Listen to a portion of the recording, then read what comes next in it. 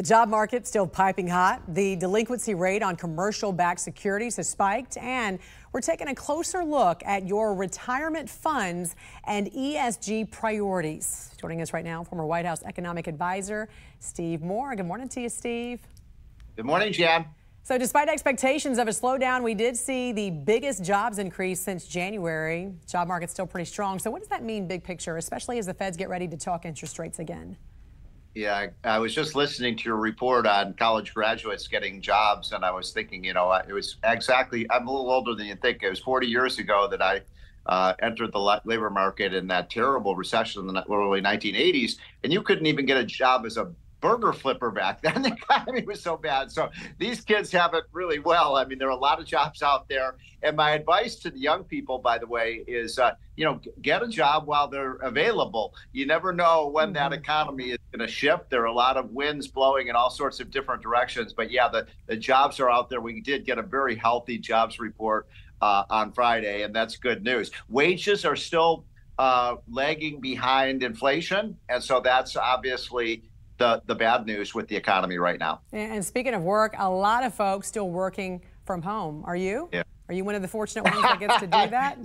you know, I've definitely changed my work style since uh, COVID. You know, and and so I probably work a couple of days a week now at home. So I'm telecommunicating as so many people are, and so. Um, well, this this brings this, up a whole this, new. Because uh, my point in, in talking about this is that a lot of these employers are downsizing and they're letting their leases go entirely. Demand, as we know, for commercial real estate is down. What will this ultimately mean, Steve, when it comes to commercial office real estate?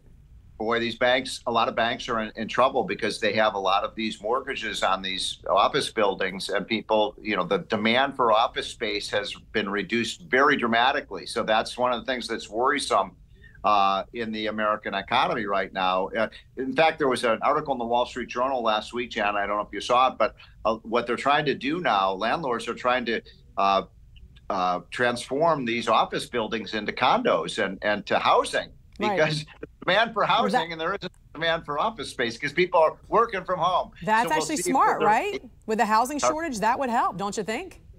Yeah, and it makes sense to do that. And, you know, a lot of these offices are in, you know, posh areas downtown where people might want to live. So we'll see whether they can pull that off and avert a real crisis in the commercial real estate sector. It's the one, you know, me- meanwhile, the housing sector remains still pretty strong despite higher mortgage rates. Well, now more than ever, a lot of Americans are keeping a close eye on uh, retirements. I know you were yep. testifying on Capitol Hill today specifically yep. about ESG policies.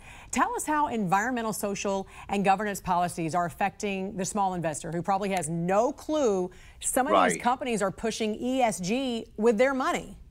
Exactly. So this is so we just did a new report that I'll be testifying today called um, called uh, putting uh, politics over pensions. And so, you know, millions of Americans, most of the people watching this show have their money in an either a, company pension plan or a 401k plan with one, probably one of the big investment firms, whether it might be JP Morgan or Charles Schwab or State Street or BlackRock. And a lot of these firms are using your money because that's your it's actually your money and they're voting for all of these ESG initiatives, things like divesting in oil and gas or putting quotas in terms of you know race and gender and so on and how many people you have on the board. And these are things that are hostile to the companies they're not related to the bottom line of getting good return for shareholders. So people should pay attention to what your money managers are doing jan. And the ones that we rate very highly are dimensional vanguard and um, and fidelity. Those are the three that don't do the esg game the ones that are terrible are BlackRock, State Street, uh, UBS. So people should check out our report at uh, at uh, the Committee to Unleash Prosperity. You can see whether your uh, money manager is playing politics with your pensions. Because I don't know about you, Jan. When I invest my money, I don't want to save the world. I don't want to save the planet. I don't want to save the whales. I just want to get a re- good return so I can retire with some money in my account. I hope that happens for you soon, Steve. And uh, we look forward to your report today on Capitol Hill. Have a great week. Okay, you too. Take care. Good to see you, Steve. Thank you.